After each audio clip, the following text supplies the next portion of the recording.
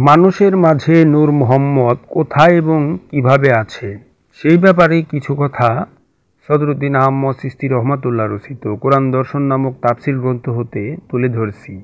আর এই কথাগুলো মগ্রন্থ কোরআনেরই সুরা আল হাদিদের পনেরো নং আয়াতের ব্যাখ্যা হিসেবে তুলে ধরছি। নূর মোহাম্মদ প্রত্যেক মানুষের মধ্যে তাহার আপন রব রূপে উপ্ত হইয়া রহিয়াছেন। উহা তাহারই আপন নূর এবং আপন পরিশুদ্ধ সত্তা।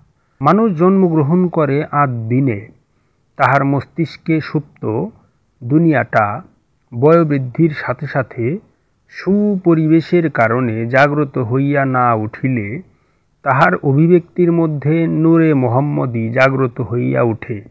উহাই তাহার আপন নূর।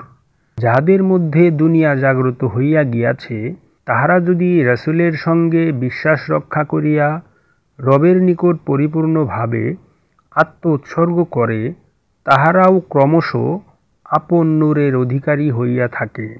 আল্লাহ এবং তাহার রাসুলের সঙ্গী হইয়া যাহারা অবিরামভাবে ইমানের কাজ করে, তাহারা সত্যবাদী এবং আপন রবের নিকট সাক্ষ্যদাতা। বাহ্যিকভাবে একজন কামেল পুরুষকে রব রূপে গ্রহণ করিয়া তাহারই অবিরাম অনুকরণ অনুসরণ দ্বারা আপন রবকে জাগ্রত করিতে হয়।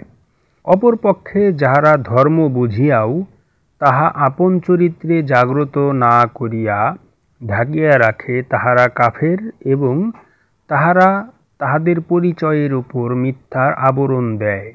যতকাল এইরূপ মনোভাব চলিতে থাকিবে, ততকাল তাহারা নরকবাসী হইতেই থাকিবে। সুতরাং মানুষের মাঝে নূর মোহাম্মদ উক্তভাবে রহিয়াছে।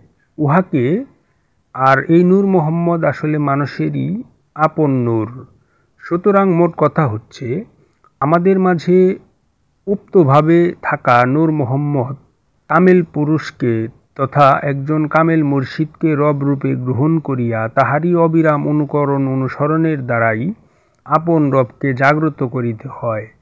একজন কামেল মুর্শিদকে রব রূপে গ্রহণ করিয়া তাহারই অবিরাম অনুকরণ অনুসরণ দ্বারা আপন রবকে জাগ্রত করার যে বিষয়টা, এটার মাঝেই আপন দেহে রব রূপে নূর মোহাম্মদের উক্ত হিসেবে থাকার গোপন ভেদ তথা গোপন রহস্য নিহিত রহিয়াছে।